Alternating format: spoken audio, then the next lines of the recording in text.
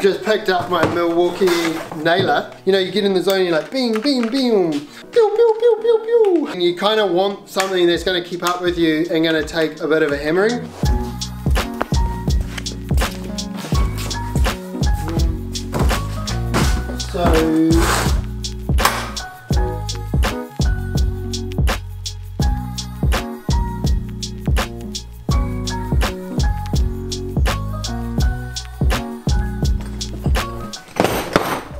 Milwaukee things.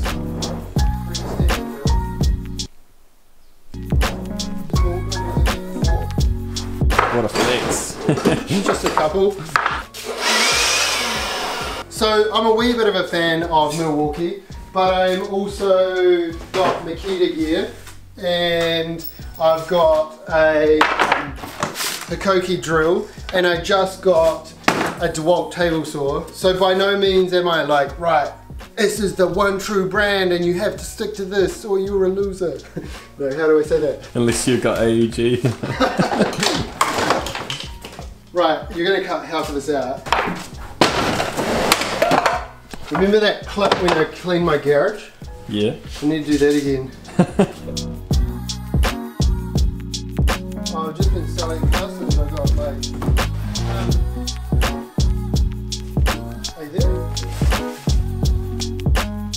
Yeah, I am. Like um, I've hired my old um.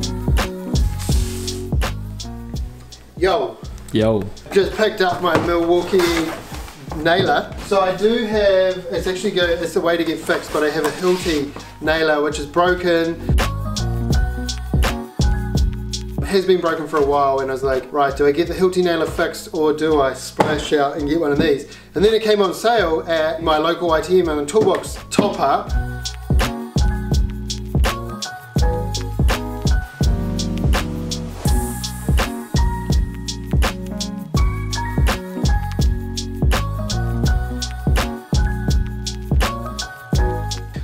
This is definitely not an ad for Milwaukee. I've paid for this with my own hard-earned money, digging trailer loads of dirt. Boom.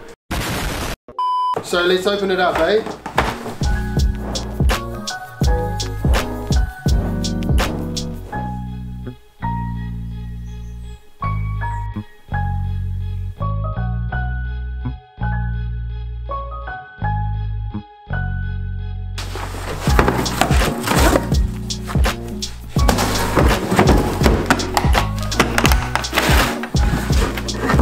Ta-da! That's it. Got a soft tip, and it's pretty weighty, uh, but I knew that. So, nailer on, bang. Probably should read this. But why did I pick this? Well, first up, you know, I wanted something other than my Hilti. My Hilti's been awesome, but I was impressed with the like depth of nail and had been weighing up a gasless option. We should confirm that it's gasless. Yeah, I've been weighing up against this option and it was either the Hikoki or this. Obviously I couldn't go for green.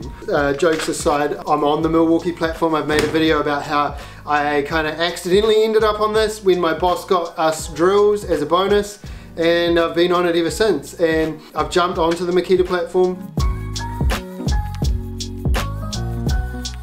From what I've heard, the Makita gun is not the greatest. I like the hook in terms of being able to hang it on framing. Got the thing here, we will put the tool belt on, eh? Builder Boss, rare tool belt. What's on Insta today? Oh yeah, check out Facebook. I'll look on staff.co.nz, life of a builder. Like, just drive around, drink coffee, phone calls, texts, it's a dream job. Don't really put the tool belt on that much anymore. So looking for something like that.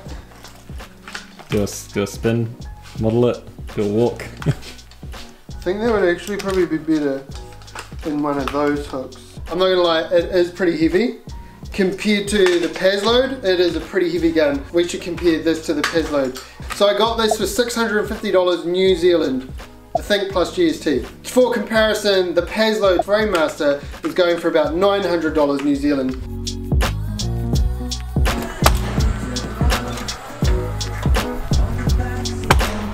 So the three things I liked about this is that it's got the power to drive the nail in and you can see that up there where you're using LVL framing and it still sunk the nails in nice and good. It's fast as well, like real responsive in terms of like, you know, you get in the zone you're like, bing, bing, bing, pew, pew, pew, pew, pew.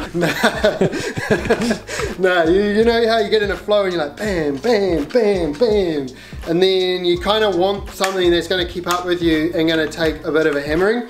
The other thing is that it's got no gas, and so it's just one less thing to worry about. The one drawback that I've noticed about it is it's already reasonably heavy in the hand compared to the other guns. Luckily, I'm not on the tools all day every day, otherwise that would probably be a bit of a turn off for me.